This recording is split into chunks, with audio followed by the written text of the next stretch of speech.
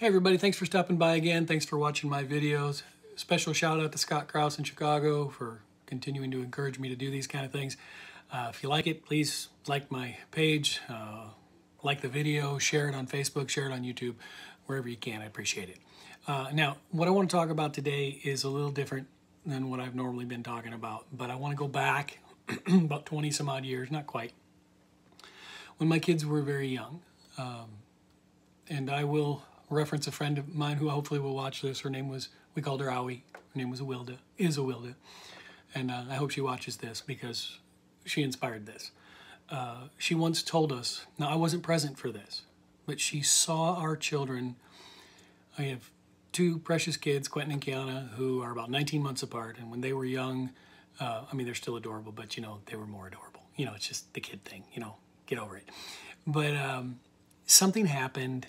I think Quentin hurt Kiana somehow physically. I don't know how. It was just, you know, a kid thing. Nothing major, no ill intent. And Kiana started to cry. Ah, you know how it goes.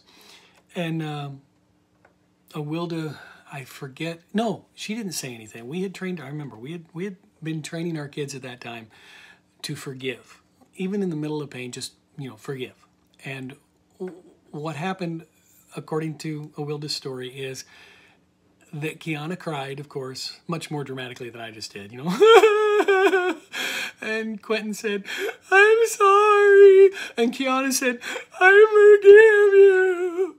Just hilarious. I mean, I could see them doing it. I didn't see this happen, but I could see them doing it. It was great. And the, the thing that uh, Awilda brought out from that story is this. Even while Kiana was still in pain from whatever happened, she forgave. She was taught to forgive out of the mouths of babes, right? Sometimes we get into situations where we are hurt and we drag that pain with us for years, decades sometimes. I still deal with some things myself. So, what I'm encouraging you to do today is forgive, even in the middle of the pain. Forgive, because what's that old saying? Not forgiving somebody is like drinking poison, poison and expecting somebody else to die. It ain't gonna happen. So, be like Kiana and go, I forgive you. Because that's where healing is. That's where healing will come from. When you forgive, let it go. And no, I'm not talking about frozen. Okay. Let it go, give it to God, and forgive. And uh, that's what I wanted to share with you today. Uh, a lot of times that can be applied to if, if the unemployed part of my, you know, ranting page here that I've been dealing doing several days uh, is that if that's the part that hits home with you that you're unemployed and maybe there's somebody who caused that unemployment, uh, it's very easy to um, continue to be angry at that person. Uh, it's easy to see them on you know Facebook on other social media and think, man, look at what they're doing, and I can't believe what they did. It's easy to think that kind of thing. I'm there. I've been there. Uh, so don't. I'm just encouraging you from my heart don't. Just let it go. Let it go. And I wasn't going to go frozen, forgive me.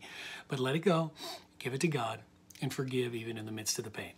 I hope that's encouraging to you. I hope you're having a great day. I hope things get better with the coronavirus. I'm praying it does.